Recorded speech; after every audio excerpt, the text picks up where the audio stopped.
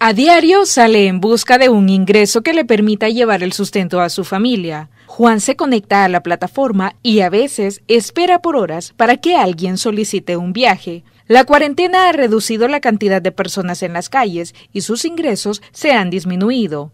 Pero ese es solo uno de los problemas. En los últimos días se han intensificado los controles policiales. Juan dice que ha estado a punto de que su vehículo, sus documentos o placas sean decomisados por las autoridades. Eh, ya me han querido quitar las placas en la parte de Soyapango.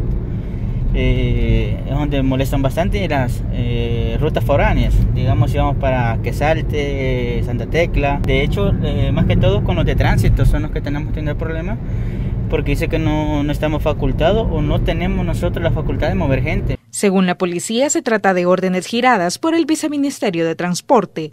Son unos vehículos que no están autorizados por el BMT, ¿verdad? Son, son personas que hacen viajes así, los pirateros que le dicen, ¿verdad? Así, conocidos.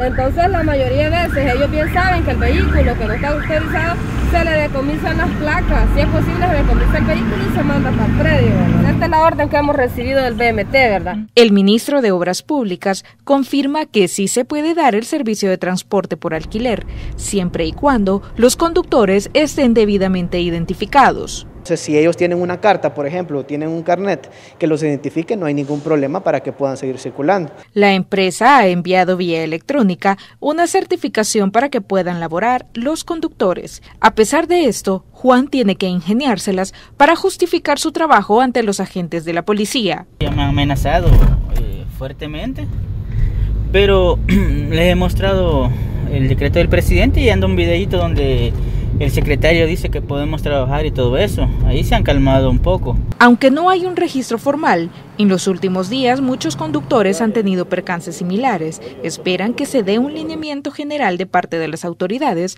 para no tener más inconvenientes. Tatiana Funes, Noticiero Hechos.